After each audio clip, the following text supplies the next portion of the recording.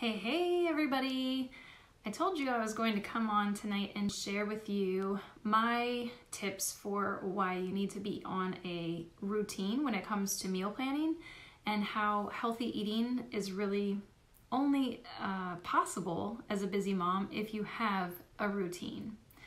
First of all, the cost of eating healthy can be high, it can be unaffordable for anyone, really. It really depends on where you live and your values. For us, we like to eat organic, of course, or at least without pesticides, and we also like to eat grass fed meat when we do eat meat, and we look for things that are naturally uh, working out. You know, they're running around in free free range. Now, do know that there are quite a few brands of, of animal products that claim to be free range or um, free roaming. And the truth is, the government allows them to claim that when they really don't get total free access to grass and, and exercise and things like that. And you could actually tell by the quality of the meat. Now, some of you might find uh, truly free range turkeys and chickens to be, what's the word for not palatable? Impalatable? I don't know if that's a word, but I'm going to say uh, they're not as palatable for some if you're not used to it because they're highly muscular because of all the extra exercise that they get. And that's kind of how you know uh, that a bird has had all the exercise that it naturally would have is because it's kind of leaner, sometimes a little tougher, and the, and the flavor is a little bit stronger, kind of like a gamey, gamier meat, if, if you know what I'm saying. So uh, the cost of eating can be really high, but statistics show that the more often you go to the store, the more you spend because of impulse buys, which I know you know what I'm talking about. And I know that if you have kids in the cart with you, it's even worse because they're reaching for things. And sometimes you just give in because you need to get through the shopping trip, right? So you can um, also avoid spending too much money by not going to the, the store hungry. Uh, you can't, your kids are always hungry if you're at the store and you just know that's going to happen. But you don't want to be hungry when you go to the store because you'll be more likely to say yes to impulse buys as well. But putting thought into what you're going to feed your family means you'll also be putting thought into your grocery shopping list and the spending that you're planning to do. And meal planning can work for any bu- budget because you're going to decide uh, what you want to have on a weekly basis. So if you're someone who has a, a set uh, spending limit each each week for your groceries, you probably don't want to put something like lobster and scallops and salmon on the same week of your meal plan.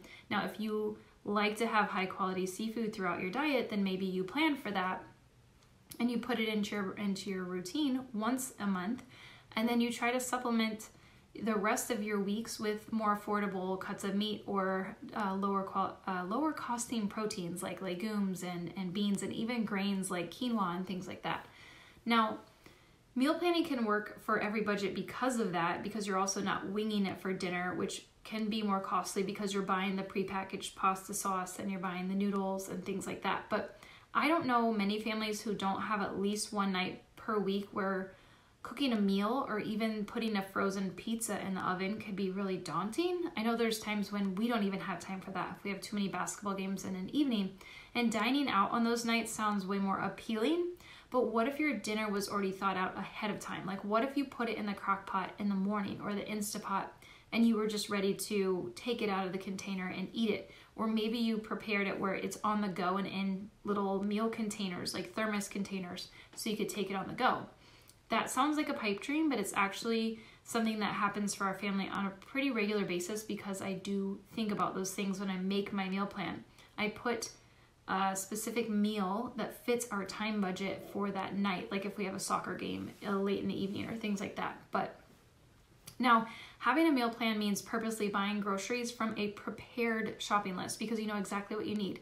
Now, most Americans waste about 40% of the food that they purchase every single week. So that means that for every five bags of food you buy, two of them you're going to end up tossing in the trash 52 times a year. Okay, think about that. That adds up really quickly, especially if eating healthy is something that stretches your budget a, a, bit, where it's a little bit uncomfortable and it's a challenge for you. If you're throwing out four, uh, two of those bags every single time you buy five bags, so if every five bags you buy, you throw away two, that is a lot of money you're throwing away, especially if you're buying higher quality food. That's expensive. And you won't do that if you're creating a meal plan and only buying the food that you need for that meal plan. Now, not meat, not meal planning makes a healthy diet a huge challenge. Simply having a meal plan will improve your diet in a multitude of ways. Your plan will incorporate fresh foods instead of prepackaged meals that are naturally just lower in quality than things that are homemade. They're also higher in sodium. Even the organic foods that are prepackaged and ready to go, they are higher in sodium. And some of them, whether they're organic or not, are going to have preservatives, and some of those packaged foods will have unhealthy fats. And I have to tell you that things like safflower oil and sunflower oil, those are not ideal oils. So even though you see them quite often in organic foods, those are not ideal oils at all. So you're basically paying more money for something that may ultimately add to the inflammation in your body. Now, lower quality food is generally less satiating, which means you'll be hungry sooner and you do have total control over what you're eating so you can focus on whatever dietary needs you or your family has when you're creating that meal plan. Now, for my family, like I said, we prioritize eating healthy food, organic, and things like that. We also look for things that are in season because they're going to be more affordable, especially where we live here in the South. Uh, it's it's um something about the the the transportation routes it just it does not lend itself easily to getting fresh food brought in. I mean we've had a food co-op before where they brought the food from colorado all the way down here to louisiana which is crazy because why would you have to spend money to ship food on a truck from colorado to louisiana? There's no place in between here and there that would actually bring the food all the way to louisiana just so we could get something that's chemical free. That's not sustainable, and we try really hard not to do that anymore. So I drive an hour down to the city to go to things like Trader Joe's and Costco so we can get high quality, organic, fresh food that we aren't um, specifically hiring a truck driver to bring all the way down here to our state. It's kind of crazy, right? Um, now, having that meal plan allows me to eat in season, and we can also choose those humanely raised meats and also avoiding chemicals and pesticides. And now, local produce used to be a big thing for me. Like, we tried really hard to do that in North Carolina and Washington state. We would really uh, hit, the, hit up the farmers markets and things like that. But it's just not something that my family and I uh, feel good about doing down here, simply because the, the soil, the crops haven't been uh, pesticide free long enough, and it's just kind of a given. They have to spray for mosquitoes here, aerial spraying, things like that. So I just, uh, I, I'm sure there are all kinds of little oversprays on the organic food that I buy too, but I, I'm not aware of it. I am very much aware of what goes on here in the state that I live in. So I just, we don't buy local the way that we should. But if you can, I do really believe in, in buying local and supporting the farms near you. Now, if you commit to meal planning, it isn't very likely that you would plan to go to the store and then buy some box macaroni and cheese, like some white bread and I don't know, lunch meat, unless that's really what's on your meal plan. But instead, you're going to be focusing more on those whole food items that fit within your budget and that fit the recipes that you've chosen for the week. And then once you've purchased this beautiful, fresh, high quality food, I doubt you're going to want to watch it spoil and you'll have no choice but to stick to your plan and prepare those foods and eat them, right? So meal planning is kind of like having your own accountability coach. Now, here's the other thing not having a meal plan increases anxiety. It's it happens for me. I know it'll happen for you. Now, some people believe that they hate cooking, and I used to be that person until I discovered cooking fresh foods that are actually in season. The flavor is worth it to me, and so I really appreciate it. And then when food tastes amazing, I'm way more excited to cook it. I mean, who wouldn't be? And I guarantee that after a few months of cooking from scratch, the packaged store bought meals that you once loved will taste far less fantastic. It's so funny. Um, ragu pasta sauce used to be my favorite, and I used to be kind of a snob about it. I can't even, it, it, it just doesn't, has no flavor to me now. And instant oatmeal has completely lost its appeal after making uh, overnight oats for the past almost 10 years. And those were staples in my kitchen not just in college but after as well you know after as i was an adult with children. But having a meal plan for your having a plan for your meals doesn't mean that you have to eat the same thing day after day week after week. This type of routine is an easy one that many families aren't utilizing uh, just creating kind of a rotational plan uh, because it does reduce your stress to have something that's predictable And you can throw in some new recipes to eat within the seasons. And variety is definitely the spice of life when it comes to food. So you don't have to have a different recipe every single night or every single lunch or whatever, but you can at least uh, have a set plan that you maybe rotate. Some families like to have like 10 or 15 recipes on rotation. I personally like to eat with the seasons, so we might have you know the same six or seven meals that are kind of sprinkled in and then we have our staples right? Like we have tacos quite often. We might have um, we do a potato soup pretty often things like that. But one of the most important factors of meal planning is the plan it and forget it phenomena that occurs. I plug in my recipes i compare it with my inventory sheets i make a grocery list and i bring the food home. Once the food's in my house, I really don't think about it anymore. I know I can trust the meal planning formula to, to only provide a meal for me that I have the time to prepare, right? Like I was talking about with soccer and things. So I know that it's in season, so I'm getting the most nutrients I can possibly get. I know that my meals are going to contain only the ingredients my family wants to eat. And then how many times do you go to the grocery store with the partial list and you still stand around looking blankly at the the shelves of food and wondering like what am i hungry for and that's too many times too many times we do that so this is where you can create the meal plan with those things that you like on them and making sure that your cravings are attended to as well as things that your kids like. I like to make my kids a meal at least once a week that is their favorite. So i know that they're eating something really good for them that they like you know because my kids are kind of picky. I mean whose aren't?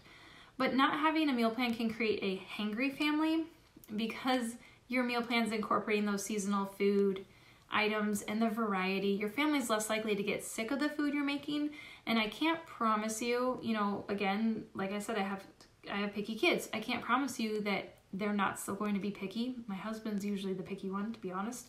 But I can assure you that you can kind of get rid of those complaints with the, well, this is what's for dinner tonight, and it's not what we're having every single night. You can have it one night.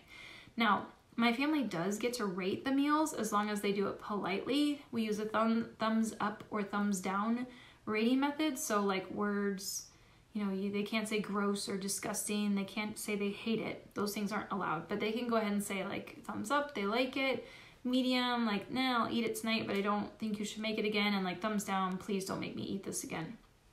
But knowing that your meals are planned out and your shopping list is complete means you don't have to stress about feeding your family and they're not going to get overly hungry because you didn't have to run to the store to get the food to come home and prepare it. Now, preparing the meals that you're following a recipe for, which is what I do. I am not someone who can just put together a recipe at all. Now, um, it's going to free up your mind because you're not thinking about that figuring out how to cook and what to cook. It's already laid out for you. And then your family is going to quickly notice how much happier you are when you're preparing the meals. I mean, how many of you have prepared dinner and you weren't someone that your kids should talk to while you were cooking?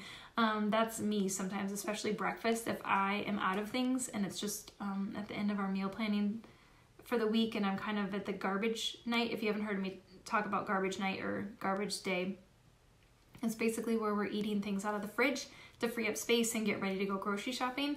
Now, sometimes breakfast can be a little wild. I'm not always fun to talk to because I'm trying to hurry up and get the kids fed because they're already getting agitated because they're kind of overly hungry. That's not good. Thankfully, this only happens to me a couple times a month when we're at that spot. Otherwise, I am pretty sure that's the norm across America, across the globe probably, when people aren't on a meal plan because their family's hungry, they just can't wait anymore, and um, it's stressful. It's just not any way to be. Now, I rarely flub up my meal plan, but when I do, my family can tell immediately. And so, like, I have the I have the anxiety about it. I know um, I didn't prepare or I didn't thaw something, or I planned a dinner that takes longer than we have time to fix, and so they're probably hungry, and then things go poorly. So I can avoid that by always, you know, sticking to the plan and trying not to let things interfere with it. And also having an emergency meal in the freezer that you can just pull out and heat up whenever things like that happen.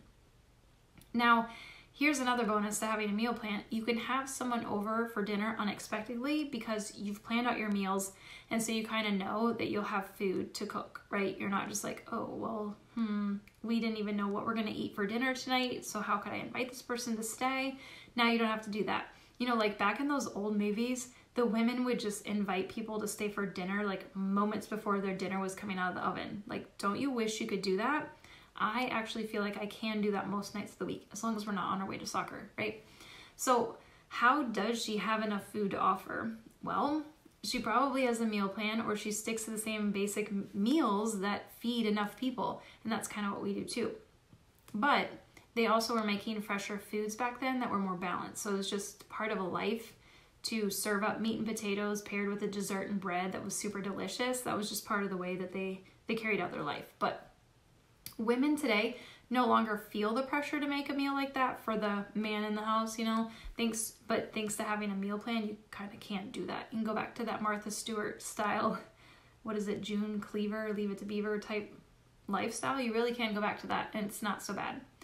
Now, here's a, here's another thing, like not meal planning, it will eat into your time. So you can have health benefits, you can save money, but you can most importantly save time. Okay, from grocery shopping to cooking, meal planning is going to save you time. I can absolutely guarantee it. Now, having a weekly plan means shopping one time and maybe you break up your produce purchases. I know um, in the summer I have to go get salad greens and things like that twice a week because um, they'll wilt and things like that. But otherwise, you don't have to go to the store for a big grocery shop only once a week. And then I try to avoid going to the store if at all possible because it saves me time and it keeps me from buying things that I don't really need. Now, the other thing that meal planning provides in the way of time is you're just efficient. So, like if your family loves tacos, you can plan ahead and make a double batch or triple batch of the taco stuffing and just freeze it for later in the week. And then if you're already making up a batch of breakfast muffins, there's not much effort to just double the recipe and store one batch in the freezer. Making a meal meal for someone who's just had a baby or like they're under the weather and you just want to help them, you can double some of your best recipes that you know can freeze well. And then you can just give them a meal straight out of your freezer or that's there for you as an emergency if something goes wrong in your schedule. Now, if you already have frozen meals or soups that you double batch, like this is something that you might want to consider adding to your meal plan every single week so you have something that's going into the freezer. Um, so I'm actually one of the first people to sign up on a meal train when they come out anymore because I have this kind of routine going on. And uh, I know that the food that I've cooked is typically allergen friendly. You know, a lot of people, especially after they have a baby, they want to avoid certain things like spices because they think that it's going to cause gas in the baby, which is totally not true. But still, most of these recipes are, you know, really benign and easy to just deliver to someone. So it's another thing to take off that anxiety when you think about hosting and, and providing food to others. So I hope these tips have kind of helped you understand that there are so many more benefits to meal, planning than just simply the act of meal planning. So I'm wondering, you know, are you going to become the next Martha Stewart by creating a meal plan? I don't know about that. I'm still not there. Uh, I can't throw together a beautifully plated meal yet and wear like a pressed outfit.